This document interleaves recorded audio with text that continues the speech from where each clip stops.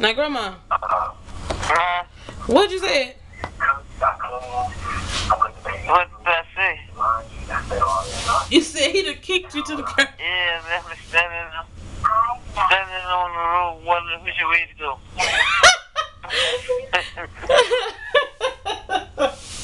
yeah. well, what you say to him when he kicked you to the curb? Well, there's a secret between us.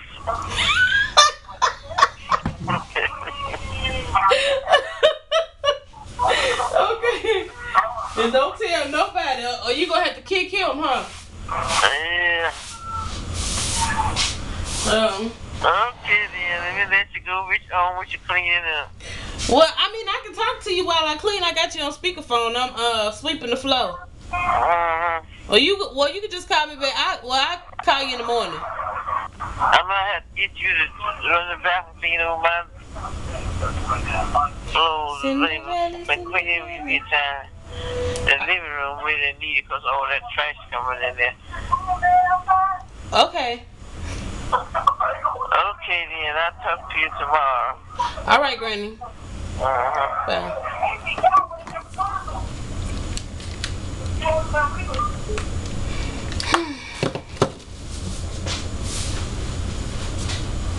Oh Lord, I just thank you for blessing me, giving me the dreams and the motivation and a zest and a zeal to never give up on my dreams and then I settle and try to work for nobody else. I said I ain't gonna work for nobody else.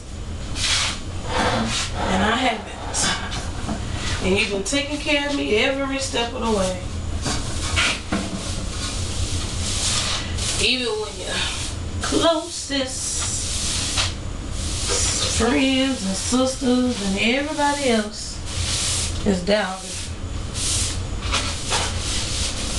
A stranger will believe in you before anybody. But you know what? The world don't owe me nothing, and I don't owe it nothing. So,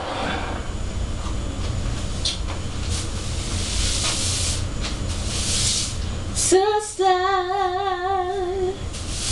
you've been on my mind, sister. We're two of a kind. Oh, sister. I know you got a lot on you. I bet you think I don't know nothing but singing the blues. Oh, sister, have I got news for you? I'm something. I hope you think that you're something too. Sister, you've been on my mind.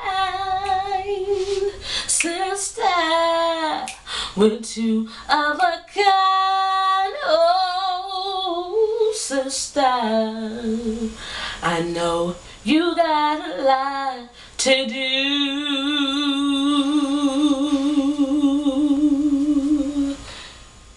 Sister, I sure got a lot on me too.